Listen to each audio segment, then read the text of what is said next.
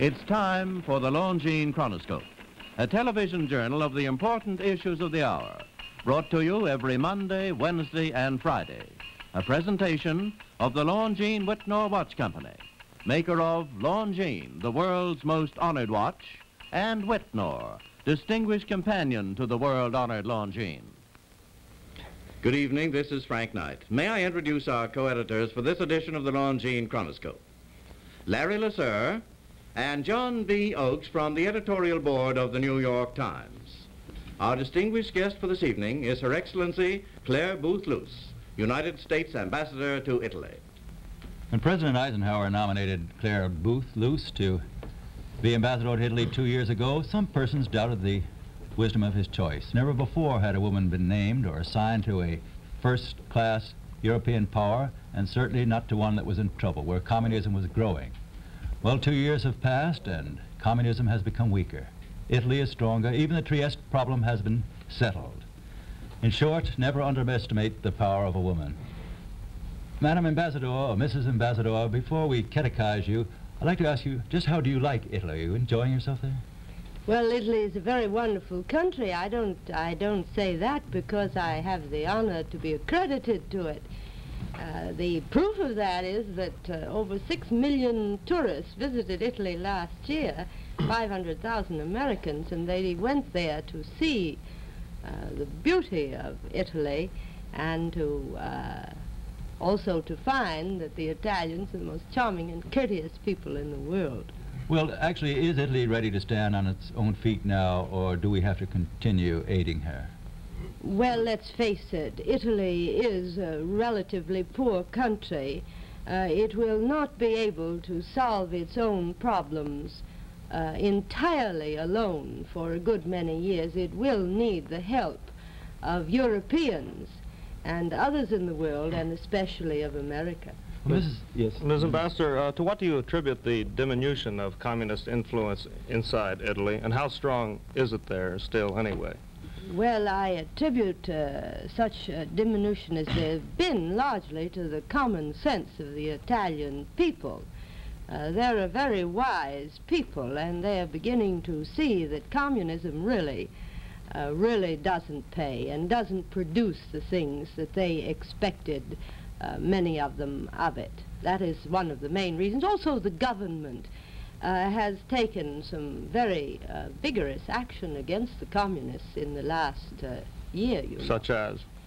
Well, they have uh, dispossessed uh, the communists from the former government-owned fascist properties, communist unions and many communist organizations. They have moved in to clear communists out of sensitive places all through the government. Uh, they've done a good many things of that sort. They're invoking for the first time uh, very strong uh, libel uh, laws against the um, against the communists for libel in the press. Mrs. So Luce, would you say that communism is actually still uh, Italy's biggest problem? Oh, there's no question but what uh, this encroaching form of totalitarianism is the major political problem. How do you account for the fact that communism seems to have grown in the uh, agricultural areas, more backward areas in Sicily? Well, that's a bit of a paradox, you know.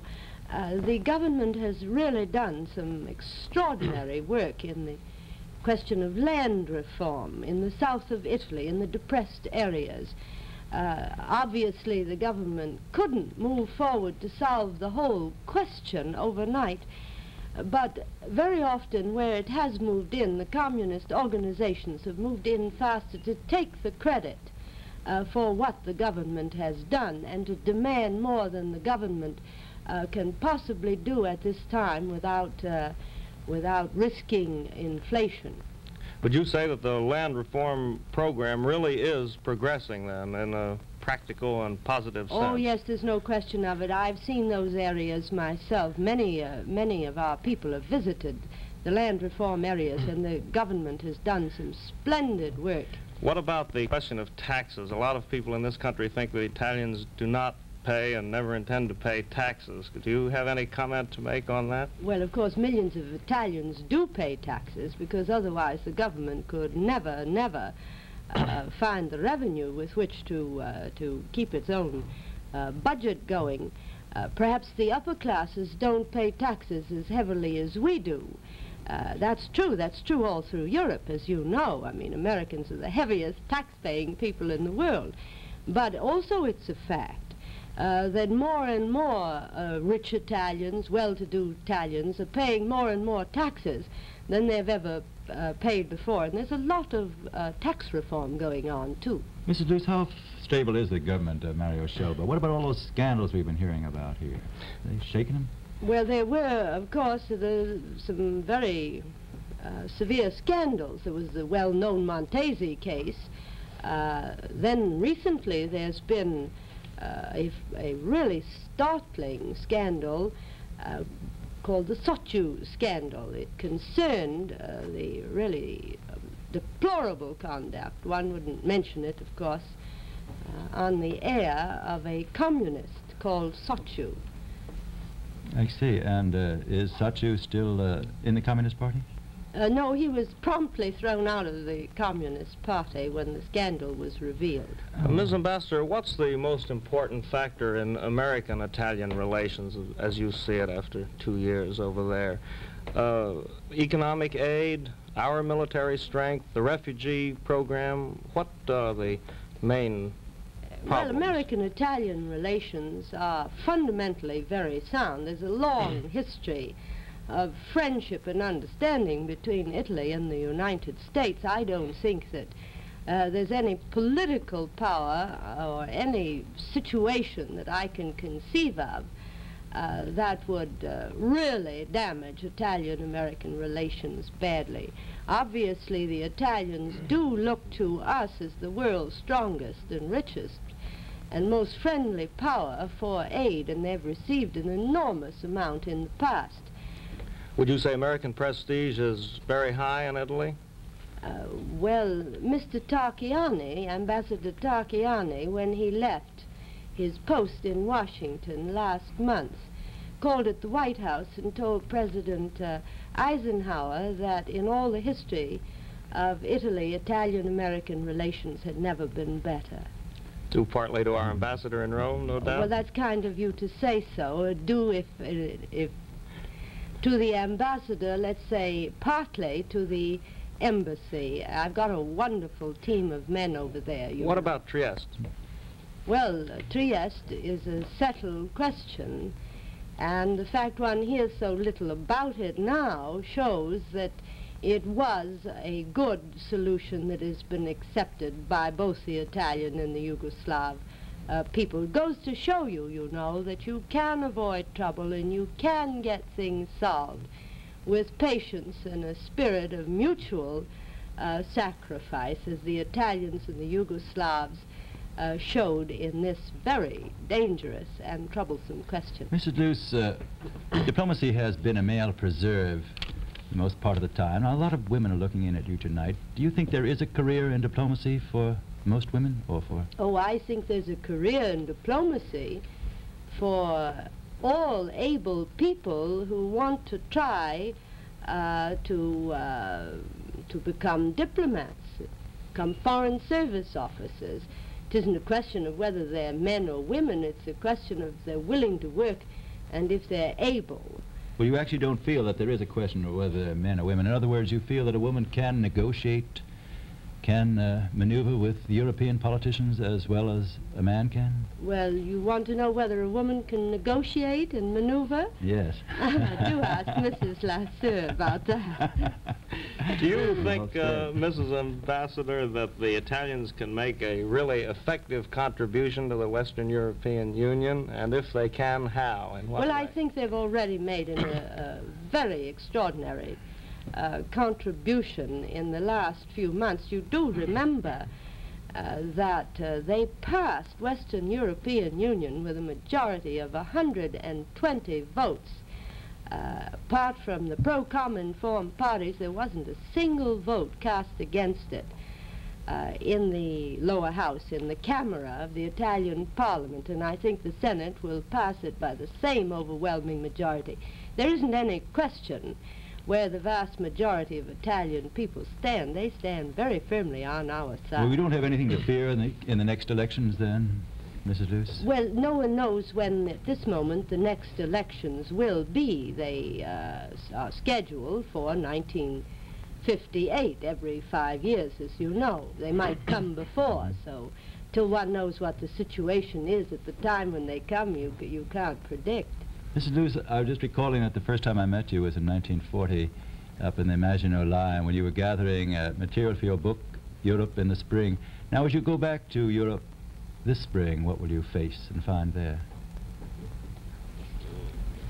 Well, certainly a, a, Europe that has made an astonishing economic and, I believe, political recovery, but also you'll find in Europe in the spring that they will be very concerned about what's going to happen in Asia in the winter. They will be deeply concerned that American arms, American prestige uh, shall have no setback in the Pacific because uh, a blow to American prestige there would have repercussions on European uh, politics.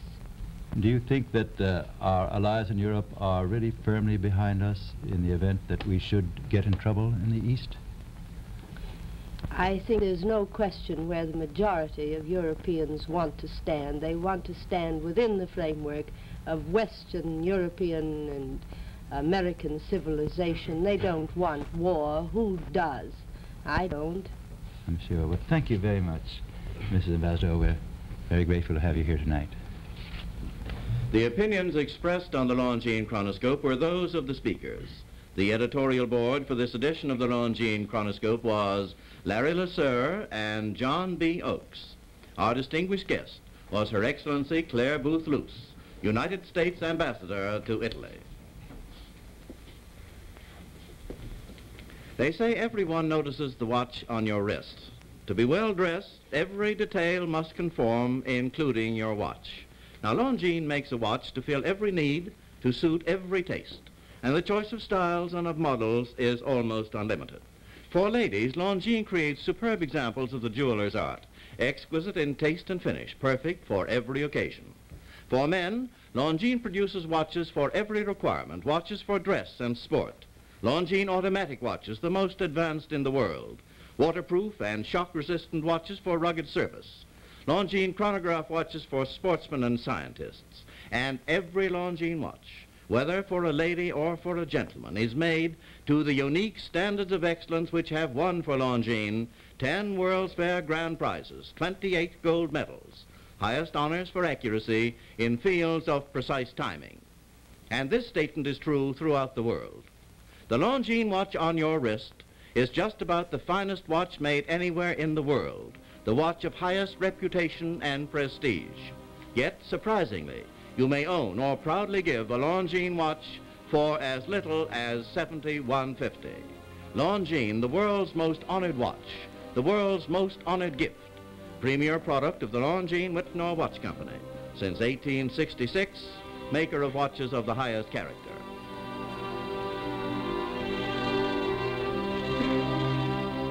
This is Frank Knight reminding you that Longines and Wittnauer watches are sold and serviced from coast to coast by more than 4,000 leading jewelers who proudly display this emblem. Agency for Longines Wittnauer watches.